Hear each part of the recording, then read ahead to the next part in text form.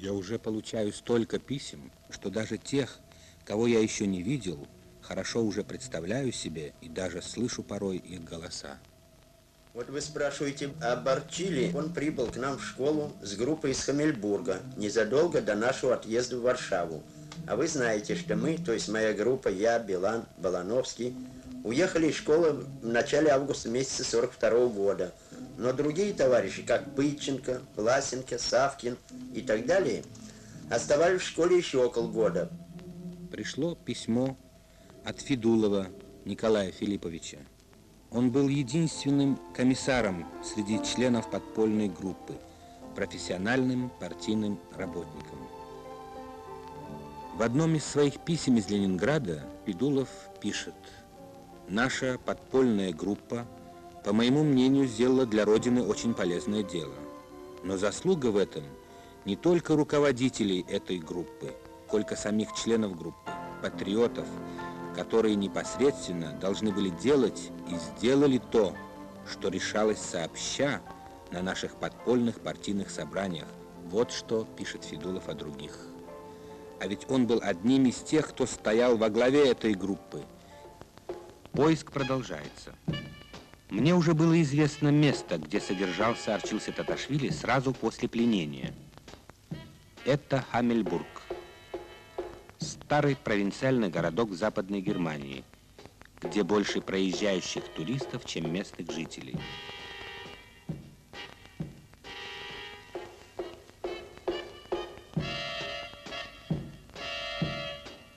Где-то тут, в окрестностях был концлагерь. Снять его не удалось, так как сейчас там военная зона. Теперь там муштруют новое поколение убийц, готовых, вопреки здравому смыслу, начать новые авантюры.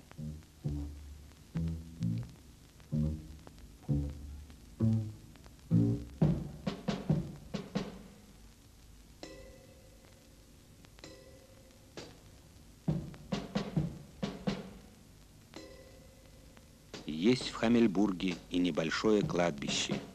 Тихое, забытое, но следов Арчила Ситаташвили нет и там.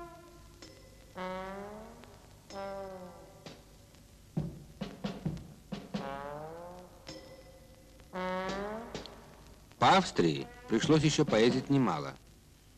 Дело в том, что в архивах был найден протокол допроса одного из осужденных сотрудников Брайтенфуртской разведшколы, который, между прочим, рассказал, что в 1943 году по подозрению в антифашистской деятельности в числе восьми курсантов был арестован и отправлен в так называемый Шварцлагерь, черный лагерь, местечко Аленштайк и Арчил Ситаташвили.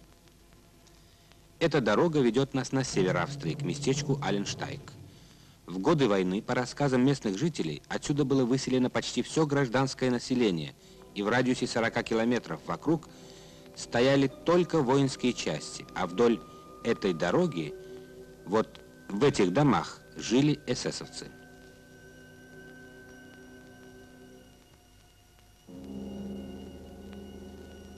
Здесь, в каменоломне, работали только узники. Это железнодорожная станция Аленштайк.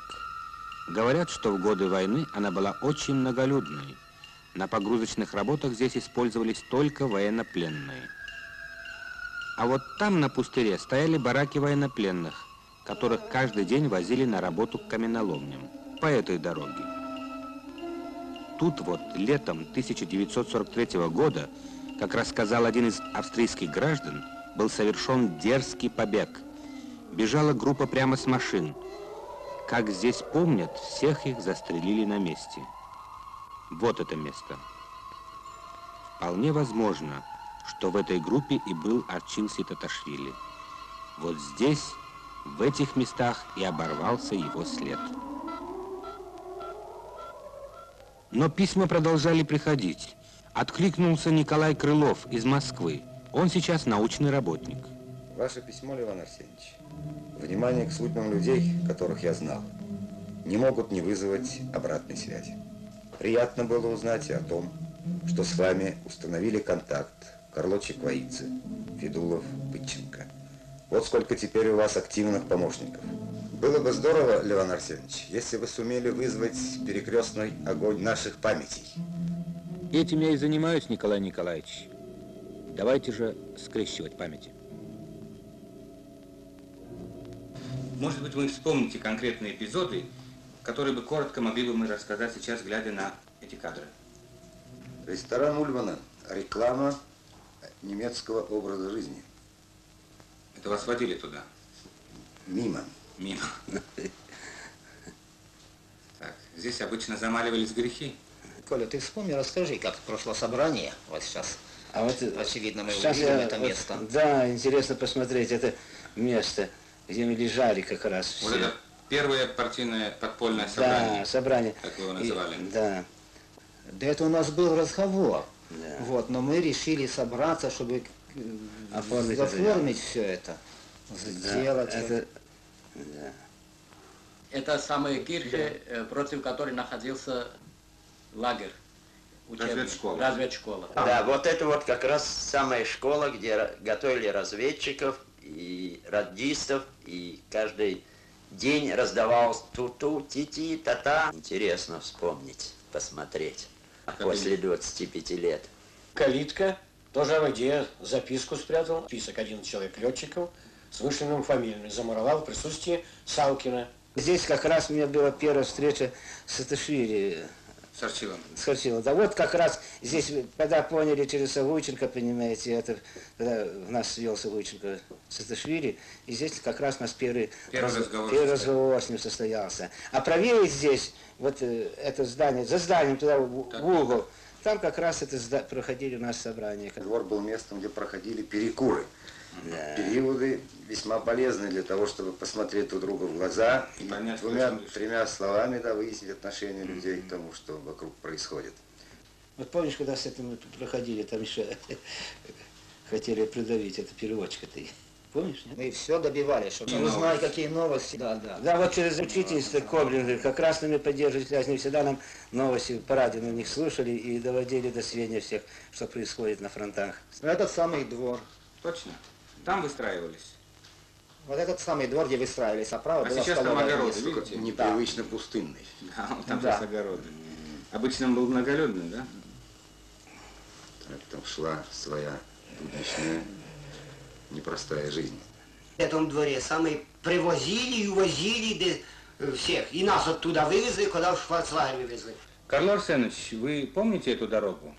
Да, я помню эту дорогу, да так помню, что никогда не забудется, так как по этой же дороге немецкие солдаты эсэсовские увели меня закованными руками.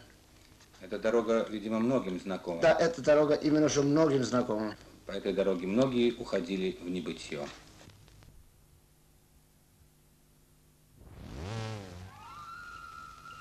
В пригороде Варшавы, в местечке Сульвейк, расположен этот дом. В нем готовились документы в соответствии с легендой, разработанной ранее. Здесь мы получали экипировку, оружие. Словом, принимали тот вид, который должны были принять перед заброской в тыл советской армии. Я был в этом домике один или два раза. Здесь также я получил документы после того, как сфотографировали здесь. вас фотографировали? Да, здесь фотографировали на документы. Здесь же еще и принимали экзамены у нас перед э, самим, самим вылетом уже из Варшавы. И кроме этого, этот дом я хорошо помню, потому что я в нем был два раза. Первый раз, когда вот тоже экипировку и делали подложные документы, а второй раз уже перед отправкой. И вот в начале сентября 1942 года лучший, как казалось начальнику разведшколы полковнику, остался до сих пор в графе «пропавшие без вести».